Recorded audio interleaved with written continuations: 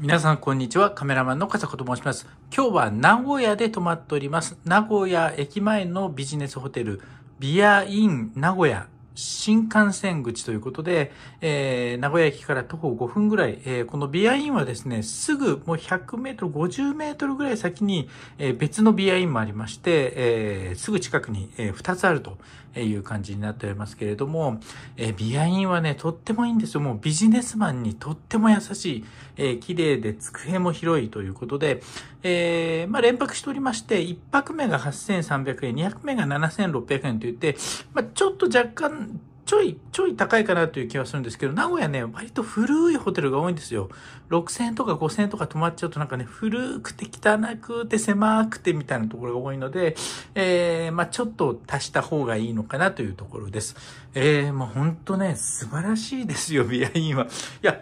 あの、今シングルなはずなんですけど、結構ベッドが広い。部屋も広い。そしてね、もうこのビジネスマンにはありがたい。この机の広さ、もう最高ですね。この目の前に鏡、あの、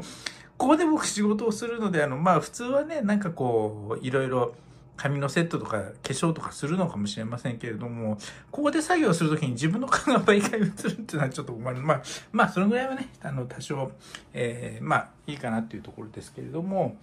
まあ、非常に綺麗ですね。非常に綺麗です。でですね、えー、と、お風呂。あ、すごい、なんかお風呂もリニューアルされたのかな？新しいのからビアインでもこんな、すごいね、なんかお風呂が円形で、え、ちょっと低めで、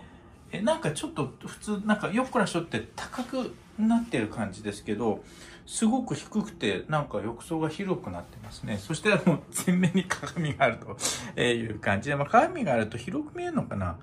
ね、えー、という感じで、えー、ビアインとってもおすすめですということで、皆さん参考にしていただきたいなと思います。